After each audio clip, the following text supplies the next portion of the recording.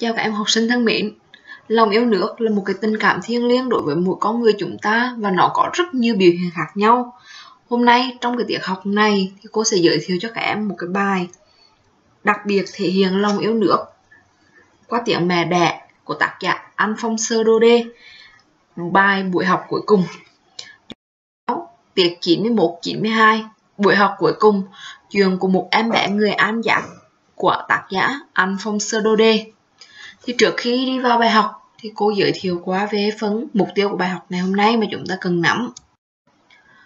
Về mục tiêu thì phần thứ nhất đó là kiến thức thì chúng ta phải nắm được cốt truyện, tình huống truyện, nhân vật, người kể chuyện, lời đối thoại và lời đọc thoại trong tác phẩm này. Thứ hai, chúng ta phải nắm được ý nghĩa và giá trị của tiếng nói dân tộc. Thứ ba, chúng ta nắm được tác dụng của một số biện pháp nghệ thuật được sử dụng trong truyện thứ hai là về kỹ năng thì sau khi đọc xong học xong cái bài này thì cô nghĩ là tất cả các bạn đều có thể tóm tắt được trường này thứ hai là tìm hiểu và phân tích nhân vật cậu bé Frank và thầy giáo Herman qua ngoại hình, ngôn ngữ, cử chỉ và hành động. Thứ ba, em phải trình bày được suy nghĩ của bản thân về ngôn ngữ dân tộc nói chung và ngôn ngữ dân tộc mình nói riêng. Đó là mục tiêu của bài học ngày hôm nay. Và để cụ thể hóa hơn về bài học ngày hôm nay, thì cô có một cái sơ đồ tổng quát. Trong cái bài buổi học cuối cùng này thì cô cũng đi làm ba phần như các văn bản khác.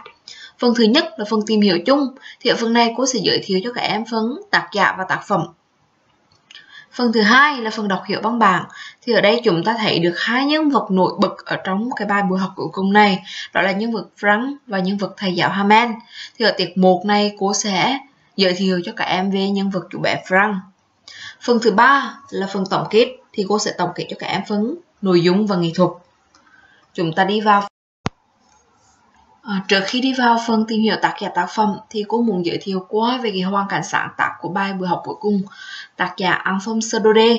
Thì bài buổi học cuối cùng này lấy bối cảnh từ một cái biến cố lịch sử sau cuộc chiến tranh Pháp phổ ở Đức năm 1870 năm 1871 như các em là nhìn thấy ở cái vùng Alsace và Lorraine trên bản đồ.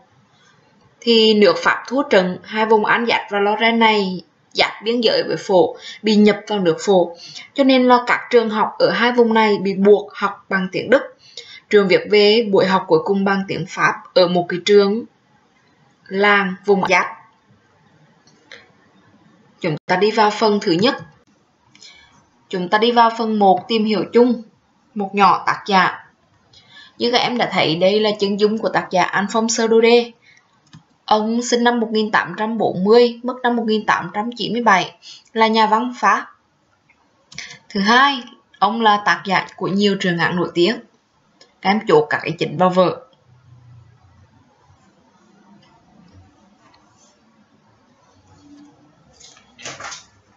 Phần thứ hai là phần tác phẩm thì ba buổi học cuối cùng này như cô đã giới thiệu, nó lấy hoàn cảnh đó là sau chiến tranh Pháp phổ năm 1870 năm 1871 thì Pháp thua trận cắt hai vùng An Giác và Lorraine cho phổ thì bài này là bài nói về cái buổi học cuối cùng bằng tiếng Pháp ở vùng An Giác bị quân phổ chiếm đóng và hình ảnh cảm động của nhân vật đó là thầy giáo Hamen thì ở đây qua cái trường này ta thấy là trường đã thể hiện cái lòng yêu nước một biểu hiện cụ thể đó là tình chính là tình yêu của tiếng nói dân tộc và nêu lên một cái chân lý đó là khi một dân tộc rơi vào vòng nô lệ chừng nào họ vẫn giữ vững tiếng nói của mình thì chẳng khác gì nắm được chìa khóa chúng lao tù và ở đây thì trường đã thiệu đó là thành công nhân vật thầy giáo Haman và chủ bé Frank qua ngoại hình, cử chỉ, lời nói và tâm trạng của họ.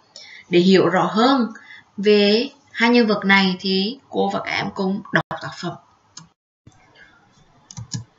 Chúng ta đi vào phần 3 đọc và tìm hiểu chủ thích sách giáo khoa. Thì cô yêu cầu các bạn dựa sách giáo khoa và cùng đọc và theo dõi cùng với cô. Buổi học cuối cùng, chuyện kể của một em bé người An giáp. Buổi sáng hôm ấy đã quá trễ giờ đến lớp, tôi rất sợ bị cuộn mắng Càng sợ vì thầy Haman đã dặn trước rằng thầy sẽ hỏi bài chúng tôi về các phân từ mà tôi chẳng thuộc lại một chữ. Tôi thoáng nghĩ hay là trộn học và rong chơi ngoài đồng nội. Trời sao mà ẩm đến thế, trong trèo đến thế. Nghe thầy xảo hót ven rừng và trên cạnh đồng Rippe, sau sườn cưa, lĩnh phụ đang tập. Tất cả những cái đó cảm dỗ tôi hơn là quy tắc về phân từ. Nhưng tôi cưỡng lại được và ba chân bốn cẳng chạy đến trường. Khi qua trượt trù sợ xạ, tôi thấy có nhiều người đứng trước bàn giảng cáo thì có lưỡi cha. Từ hai năm nay, chính từ chỗ ấy lan đến chúng tôi. Mọi tiếng chẳng lành, những cuộc thất trần, những vụ trấn thu, những mình lình của ban chỉ huy đất. Và tôi nghĩ mà không dừng chân, lại có chuyện gì nữa đây? Bác phó ren Oster đang đọc cáo thì cùng cầu học việc, thấy tôi chạy qua liền lớn tiếng bảo, đừng vội vã thế cháu ơi, đến trường lúc nào cũng vẫn còn là sớm. Tôi tưởng bác chỉ nhào tôi, và tôi hồn hển thở dốc, bước vào khoảng sân nhỏ nhà thầy Haman. Thông thường, bắt đầu buổi học, tiếng ồn ào như vợ chờ vang ra từng ngoài phố. Nào tiếng ngắn bàn động mở, tiếng mọi người vừa đồng thanh nhắc lại rất to các bài học, vừa bị tai lại cho dễ thuộc. Và tiếng chiếc thước kẹ to tướng của thầy gõ xuống bàn. Yên một chút nào. Tôi định những lúc ồn ào, hỗn đồn ấy lẹn vào chỗ ngồi để không ai thấy. Nhưng đúng ngày hôm đó, mọi sự đều bình lặng ý như một buổi sáng chủ nhật. Qua cửa sổ mở, tôi thấy các bạn ngồi vào chỗ và thầy Haman đi đi lại lại với cái thước sắc khủng khiếp kẹp dưới nách. Phải mở cửa đi vào giữa sự lặng ngắt đó, các bạn tưởng tượng xem tôi đỏ mặt tía tai và sờ đến chừng nào. Thế mà không, thầy Hamen nhìn tôi chẳng dừng dự và bảo tôi thật dịu dàng. Frank, vào chỗ nhanh lên con, lớp sắp bắt đầu học mà vặn mặt con. Tôi bước qua ghế dài và ngồi ngay xuống trước bàn mình. Chỉ đến lúc ấy đã hơi hoàng hồn, tôi mới nhận ra thầy giáo chúng tôi mặc chiếc áo rất lên gột màu xanh lục, dèm lá sen gấp nếp mịn và đội cái mũ tròn bằng lụa đen thêu mà thầy chỉ dùng vào những hôm có thanh tra hoặc phạt phần thưởng. Ngoài ra, lớp học có cái gì đó khác thường và trang trọng. Nhưng điều làm tôi ngạc nhiên hơn cả là trông thầy ở phía cuối lớp, trên những hàng ghế thường bỏ trống, nhưng là ngồi lặng lẽ giống như chúng tôi. Cụ già hôi dê trước đây là xã trưởng với cái mũ ba sừng. Bác Pháp Thư trước đây và nhiều người khác nữa.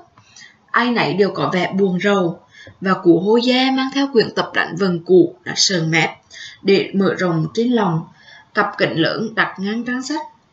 Tôi còn đang ngạc nhiên về tất cả những điều đó thì thầy Hamen đã bước lên bục. Rồi vẫn, vẫn với dòng dịu dàng và trang trọng như lúc tôi mới vào. Thầy nói với chúng tôi. Các con ơi, đây là lần cuối cùng thầy dạy các con. Lần từ Berlin là từ nay chỉ dạy tiếng Đức ở các trường vùng An Giác và Loren. Thầy giáo mới ngày mai sẽ đến. Hôm nay là bài học pháp văn cuối cùng của các con. Thầy mong các con sẽ hết sức chú ý. Mấy lời đó làm tôi choáng váng. À, quân khổ nàng, thì ra đó là điều chúng vừa niêm yết ở trụ sở xã. Bài học pháp văn cuối cùng của tôi, mà tôi thì mới biết việc tập toàn. Vậy là sẽ chẳng bao giờ được học nữa ư? Phải dừng ở đó ư? Giờ đây tôi tự dừng mình biết mạnh về thời gian bỏ phí, về những buổi trộn học đi bắt tổ chim hoặc trượt trên hồ. Những cuốn sách vừa nãy tôi còn thấy chả ngán đến thế, mang nặng đến thế.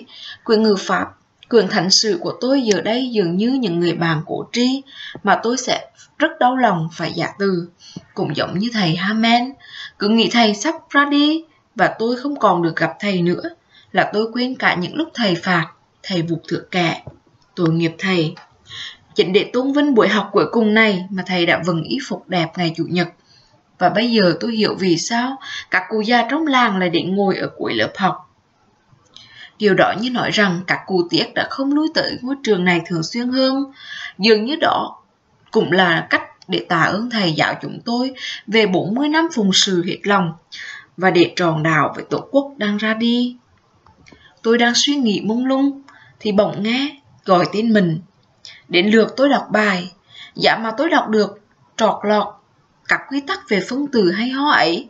Đọc thật to, thật rộng rạc, không phạm một lỗi nào thì dù có phải đánh đổi gì cũng cam. Nhưng tôi lụng tụng ngay từ những từ đầu, và tôi đừng đúng đưa. Người trước chiếc ghế dài, lòng rầu rĩ. Không dám ngẩng đầu lên, tôi nghe thấy thầy Hamen bảo tôi. Frank à, thầy sẽ không mặn con đâu. Con bị trừng phạt thế là đủ rồi, con thấy đó. Ngày nào người ta cũng phải từ nhủ, chà, còn khổ thì giờ, ngày mai ta sẽ học. Và rồi con thấy những điều gì xảy đến. Ôi, tai họa lớn của sự ăn giác chúng ta là bao giờ cũng hoãn việc học đến ngày mai. Giờ đây, những kẻ kia có quyền bảo chúng ta rằng Thế nào, các người tự nhận là dân Pháp, vậy mà các người chẳng biết đọc, biết viết tiếng của các người. Dù thế nào, thì phán tội nghiệp của thầy à, con vẫn chưa phải là người đáng tội nhất, mà tất cả chúng ta ai cũng có phần đáng tự chế trách. Cha mẹ các con không thiệt tha lắm về việc thầy các con có học thức. Cha mẹ thích các con làm việc đồng án hoặc vào làm nhà máy sợi để kiếm thêm dâm xu. Cả thầy cũng không có gì để trách mình ư. Thầy đã chẳng sai cả con tưới vườn thay vì học hành đó sao? Và khi thầy muốn đi câu cả hương, thầy có ngài ngùng cho cả con nghỉ học đâu. Thế rồi, từ điều này sang điều khác, thầy Hamen nói với chúng tôi về tiếng Pháp, bảo rằng đó là ngôn ngữ hay nhất thế giới, trong sáng nhất, vững vàng nhất. Phải giữ lại nó trong chúng ta và đừng bao giờ lãng quên nó, bởi khi một dân tộc rơi vào vòng nô lệ, chừng nào họ vẫn giữ vững tiếng nói của mình, thì chẳng khác gì nắm được chìa khóa chuộng lao tù. Rồi thầy cầm một quyển ngữ pháp và đọc bài học cho chúng tôi. Tôi kinh ngạc thấy sao mình hiểu đến thế. Tất cả những điều thầy nói, tôi thấy thật dễ dàng, dễ dàng. Tôi cũng cho là chưa bao giờ mình chăm chủ nghe đến thế. Và cả thầy giáo nữa, chưa bao giờ thầy kiến nhận giảng dạy đến thế. Cứ như thế trước khi ra đi, con người tội nghiệp muốn truyền thụ toàn bộ trí thức của mình, muốn đưa ngay một lúc trí thức ấy vào đầu óc chúng tôi. Xong bài giảng, chuyển sang việc tập. Thầy Hamen đã chuẩn bị cho ngày hôm đó những tờ mẫu mới tinh, trên có viết bằng chữ rông thật đẹp. Pháp, An Giác, Pháp, An Giác. Những tờ mẫu được treo trước bàn học giống như những lá cờ nhỏ bay phấp phới khắp xung quanh lớp. Ai nãy đều chăm chú hết sức và cứ im phăng phắc. Chỉ nghe thấy tiếng ngồi buộc sột soạt trên giấy. Có lúc những con bò dừa bay vào nhưng chẳng ai để ý, ngay cả những trò nhỏ nhất cũng vậy. Chúng đang cầm cùi và những nẻ sổ với một tấm lòng, một ý thức, như thế cái đó cũng là tiếng Pháp.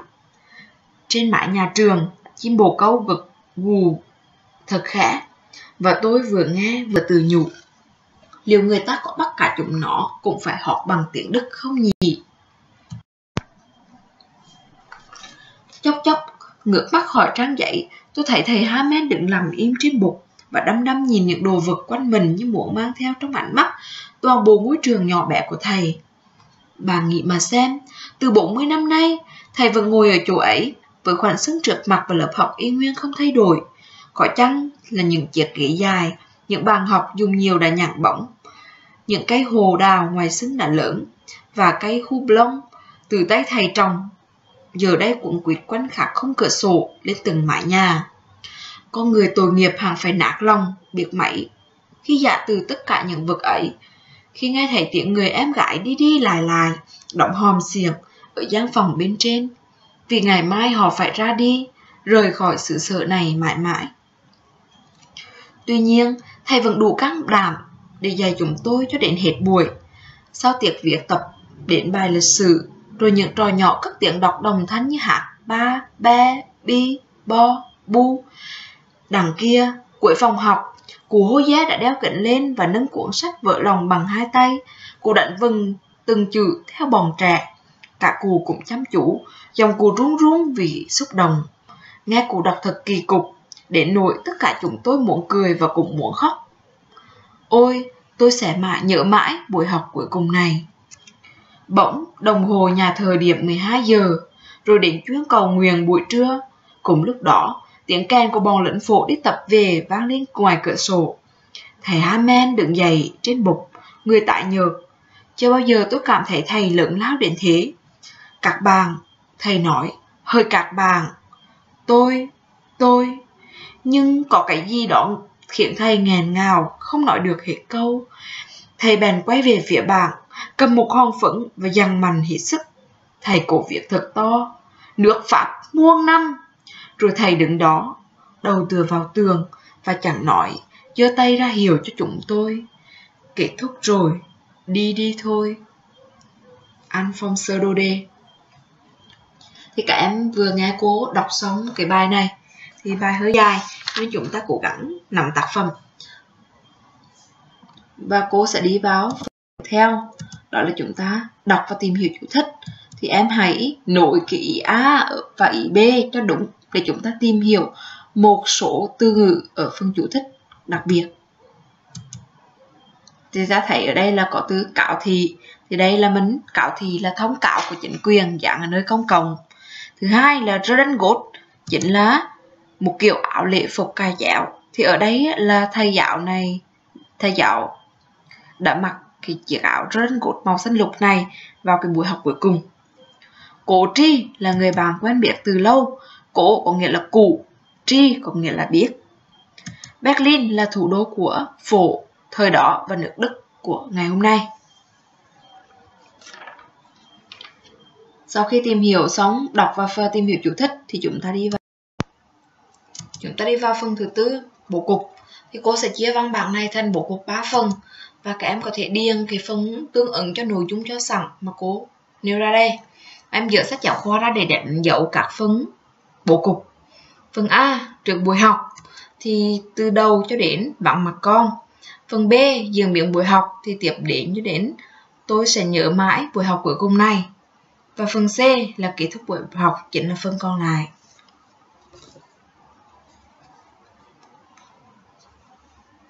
Chúng ta có thể ghi nhanh vào vở. Chúng ta đi vào phần 5 tóm tắt văn bản. Và các em có thể ghi lại cái phần tóm tắt này vì sau khi học xong cái văn bản này thì cô sẽ yêu cầu tất cả các bạn đều phải tóm tắt được cái văn bản này. Frank là một cậu bé ham chơi và chơi chăm học. Một lần trên đường tới trường, quan cảnh khác là đã thu hút cậu và khi đến trường thì không khí lớp học bỗng trở nên bình lặng, không ồn ào hỗn độn như mọi khi và có cả những người dân làng đến tham dự. Thậm chí thầy Hamen không hề tức giận khi Frank đi học muộn. Hóa ra thì đây chính là một buổi học cuối cùng mà cậu được học tiếng Pháp và cũng là một buổi học cuối cùng mà thầy Hamen dạy học cho lớp.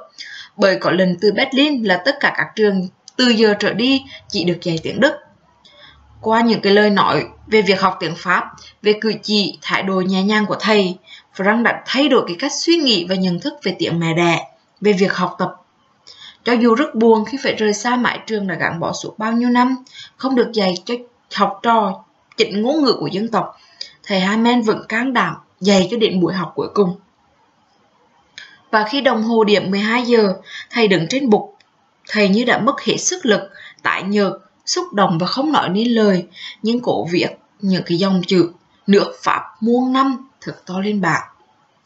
Thì ở đây ta thấy cái tác phẩm buổi học cuối cùng này rất là xúc động, cho nên mình cảm nhận được à, cái tình yêu, cái tiếng nói dân tộc là một cái tình yêu rất là lớn và thiêng liêng. Các em ghi vào vở.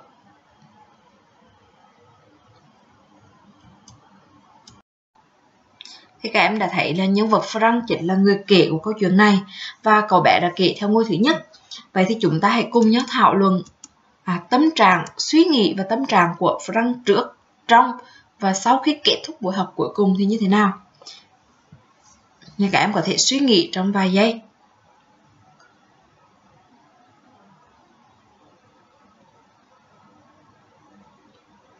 Thì theo theo bài giảng của cô thì người kể chính là cậu bé Frank, cho nên là cách kể này khiến cho câu chuyện trở nên một cách rất là chân thực vì nhân vật là người kể chuyện và là người chứng kiến, là người trong cuộc, trực tiếp chứng kiến từ đầu đến cuối. Tâm trạng của nhân vật Frank thì qua đó cũng thể hiện một cách rất là chân thành và sâu sắc. Từ đó làm cho câu chuyện càng thấy mỹ nghĩa. Vậy thì tâm trạng và nhân vật như thế nào? Chúng ta đi vào phần 2 đọc hiểu văn bản. Thứ nhất là nhân vật Frank. Thì ở tiết mục này cô sẽ cùng tìm hiểu với các em nhân vật Frank có ba giai đoạn. Thứ nhất, đó là tâm trạng của Frank trước buổi học. Thì chúng ta thấy đó là trước buổi học thì cậu bé là một người hôm nay là đi muộn và ham chơi, có ý định trộn học nhưng mà kim lòng lại được và ba chân bốn cẳng chạy đến trường. Khi chạy đến trường thì cậu bé thấy được cái bản dạng cáo thì có lưỡi che, có rất nhiều người đến nhưng mà cậu bé lấy không đến đọc và mặc dù muộn giờ học, nhưng bác phó Ren Oster lại bảo với cậu rằng, đừng vội vã thế cháu ơi, đến trường lúc nào cũng vẫn là còn sớm. Đến trường thì cậu bé cảm thấy mọi việc đều bình lặng. Không có tiếng ồn ào như vợ chờ vắng ngoài phố, mọi việc đều hết sức bình lặng giống như y như một buổi sáng ngày chủ nhật. Frank đi trễ, nhưng mà thầy giáo lấy không la và giọng rất nhẹ nhàng đó chính là tấm trạng của Frank trước buổi học. Chúng ta đi vào B. Tâm trạng của Frank trong buổi học thì như thế nào? Thầy giáo ăn mặc trang trọng thì Frank đi trễ. Thầy giáo không la mắng. Và khi Frank phát hiện thì thầy giáo mặc một cái áo quần rất trang trọng, khác bình thường. Đó là áo rất đánh gột màu xanh lục đôi cái mũ bằng lụa đen theo mà thầy chỉ mặc vào những cái ngày sáng chủ nhật hoặc là những ngày có lễ quan trọng. Thứ hai là Frank thấy được cái không khí khác thường. Không bị thầy mắng, thầy lại nói bằng một cái giọng rất dịu dàng và những những nhìn thứ ba là cái có cả các cụ già và thành dân làng đến dự. Thành phần tham dự của lớp học nó cũng khác. Ai nãy cũng có vẻ buồn rầu. Và dòng của thầy thì trang nghiêm và xúc động. Cho nên chúng ta thấy được à tất cả báo hiệu đây là một buổi học cuối cùng, một buổi học không bình thường. Biến cố sắp sửa xảy ra, khiến cho Phờ Răng cảm thấy ngượng ngàng, bối rối, căng thẳng và báo hiệu một cái điều gì đó khác thường. Chúng ta ghi vào các ý chính này vào vở cô và các em cùng đọc cái đoạn trong buổi học thì cảm giác của Frank như thế nào? Bài học pháp văn cuối cùng của tôi, mà tôi thì mới việc tập toàn. Vậy là sẽ chẳng bao giờ được học nữa. Phải dừng ở đó. Giờ đây tôi tự dừng mình biết mấy về thời gian bỏ phí, về những buộc trộn học đi bắt tổ chim hoặc trượt trên hồ. Những cuốn sách vừa này tôi còn thấy chán ngán đến thế, mang nặng đến thế. Quyền ngữ pháp quyền thánh sự của tôi giờ đây dường như những người bạn cổ tri mà tôi sẽ rất đau lòng phải giả từ. Cũng giống như thầy Hamen cứ nghĩ thầy sắp ra đi và tôi không còn được gặp thầy nữa, là tôi quên cả những lúc thầy phạt, thầy vụt thượng kẻ. Thì đây là một cái đoạn tích khi mà tác giả, tức viết về cái nhân vật Frank khi ở trong buổi học. Chúng ta tích trong buổi học thì diễn biến như thế nào? Thì diễn biến buổi học, Frank cảm thấy những quyển sách chán ngán bây giờ trở thành những người bạn cổ tri các em chốt các ý này vào vở Frank cảm thấy xấu hổ, tiếc nuối và ân hận tại vì lúc trước mình không học, mình không chịu học những cái bài tiếng Pháp hay như vậy mà mình lại không chịu khó. Bây giờ không thể thay đổi được nữa.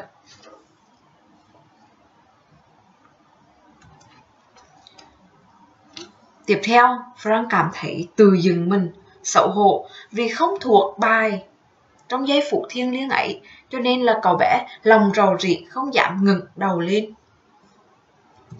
Cậu bé cảm thấy đau lòng khi phải giả từ. Giả từ việc học tiếng Pháp cũng như thầy Hamen không được dạy tiếng Pháp ở trường nữa. Tiếp theo đó là cậu bé cảm nhận nỗi đau của một dân tộc bị mất tiếng nói, mất chủ quyền qua hình tượng của thấy Hamen. Điều làm nên sự thay đổi ở cậu bé đó chính là tình yêu, tổ quốc, mà cậu hiểu được sự thiêng liêng của việc học tiếng nói dân tộc. Chưa bao giờ dễ dàng dễ dàng đến thế. Và trong cậu bé luôn tự hào, khâm phục về thầy giáo.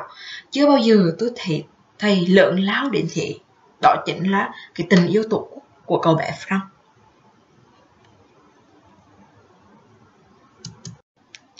Tâm trạng của cậu bé Frank trong cái bài tập đọc khi được thầy giáo kêu đứng dậy đọc bài thì cậu lúng túng ngay từ đầu lòng rầu rĩ và không dám ngẩng đầu lên khi mình không đọc được. Thứ hai là khi nghe thầy giảng thì cảm thấy kinh ngạc sao mà hiểu bài đến thế? Một hiểu bài một cách rất là dễ dàng và chưa bao giờ cậu bạn cảm thấy như vậy. Thứ ba là chăm chú lắng nghe và cảm thấy à, cái tiếng nói của dân tộc nó hòa vào mình như vậy thì cậu bé đã cảm thấy buổi học cuối cùng chính là khơi dậy tình yêu của tiếng mẹ đẻ. Đó là tiếng nói của dân tộc. Các em bài vào vượt. chúng ta đi vào phần C, tâm trạng của Frank khi kết thúc buổi học. Khi chúng ta thấy kết thúc buổi học thì cậu bé Frank cảm nhận được qua những cái âm thanh đó là tiếng chuông đồng hồ. Thứ hai đó là tiếng chuông cầu nguyện. Thứ ba đó là tiếng kèn của lệnh phụ. Và tất cả những âm thanh này báo hiệu là buổi học cuối cùng đã kết thúc. Và cả cậu bé cảm thấy chưa bao giờ thầy thầy lớn lao đến thế và tự hào về người thầy và nhận thức một cách đầy đủ về vai trò của tiếng mẹ đẻ. Cậu thấy khâm phục và tự hào về người thầy. Trong tâm trí của cậu bé, hình ảnh thầy Hamen hiện lên thật đẹp. Chưa bao giờ tôi thấy thầy lớn lao đến thế. Và cậu ý thức được một cách thật rõ ràng. Yêu tiếng nói của dân tộc mình cũng chính là biểu hiện của tinh thần yêu nước. Như cô phân tích ở trên thì mình thấy được à nhân vật Frank có một cái vị trí rất quan trọng ở trong trường này. Trước hết, đây là nhân vật giữ chức năng đó là người kể chuyện và câu chuyện diễn ra theo cái nhìn và thái độ của cậu. Thứ hai là thông qua nhân vật này thì chúng ta sẽ thấy được à là tác giả đã làm nổi bật chủ đề của tác phẩm. Đó là biết yêu tiếng nói của dân tộc mình chính là biểu hiện cụ thể của lòng yêu nước sâu sắc. Và thực ra những cái tư tưởng ấy đã được thầy Haman trình bày nhưng mà nó thấm sâu vào tâm hồn của cậu bé, làm thay đổi nhận thức của cậu. Đó chính là sự thay đổi tự nhiên vừa mang tính đột biến. Đó là những cái nét chỉnh về nhân vật Frank. Để cho các em có thể nắm ý lại. À, những vật răng thì chúng ta sẽ tìm hiểu qua ba giai đoạn, đó là trước buổi học cuối cùng, trong buổi học cuối cùng và khi kết thúc buổi học cuối cùng. Thì trước buổi học cuối cùng thì Frank là định trốn học đi chơi, nhưng mà lại đấu tranh với bản thân và cưỡng lại để được đến trường. Thì chứng tỏ là một chú bé lười học, nhục nhã, nhưng mà cũng trung thực. Thứ hai là trong buổi học thì cậu bé ngường nhiều xấu hổ, vì vào muộn thứ hai là ngạc nhiên vì trang phục của thầy giáo và quan cảnh của lớp học nó khác ngày thường thứ ba là choáng váng khi biết đây là một buổi học cuối cùng để rồi cậu bé phải xấu hổ, tiếc nuối vì không thuộc bài. Chứng tỏ cậu bé là một người ân hận, xấu hổ và tự trách mình. Hiểu được ý nghĩa thiêng liêng của việc học tiếng mẹ đẻ và từ chán học trở thành thích học. Sau khi kết thúc buổi học cuối cùng thì ta thấy cậu bé xúc động. Ôi, tôi sẽ nhớ mãi buổi học này và cảm thấy hình tượng của thầy giáo Hamen thật lớn lao. Tự hào về người thầy và có cái tình yêu sâu sắc đối với tiếng mẹ đẻ. Thì đây là một số tóm tắt về nhân vật Frank mà các em có thể nắm qua cái phần bài học ngày hôm nay. Thì các em có thể xem lại để ghi vào vở.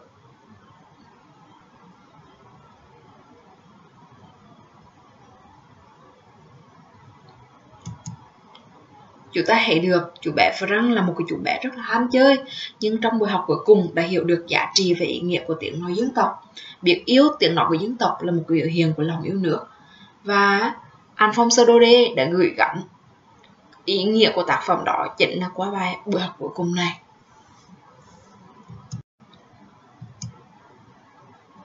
Em có thể thấy được à trước buổi học là một cậu bé ham chơi lười học, nhưng trong buổi học thì ứng hừng ham học nhưng mà đã quá muộn rồi. Và sau khi buổi học thì thấy thầy thật lớn lao, kính yêu thầy và yêu đất nước. Chúng ta thấy được nghệ thuật miêu tả tâm lý nhân vật, diễn tả nhân vật Frank qua ba giai đoạn thời điểm như vậy. Chúng ta thấy được à cái cách viết của tác giả Alfonso Dode đã xoáy sâu vào tâm lý của nhân vật để cho chúng ta thấy được à cả ngoại hình lẫn nội tâm đều chính xác và tinh tế với cái dòng kể rất là tự nhiên để chúng ta thấy được à tài năng của ông. Cái phần này em không cần ghi vào vở.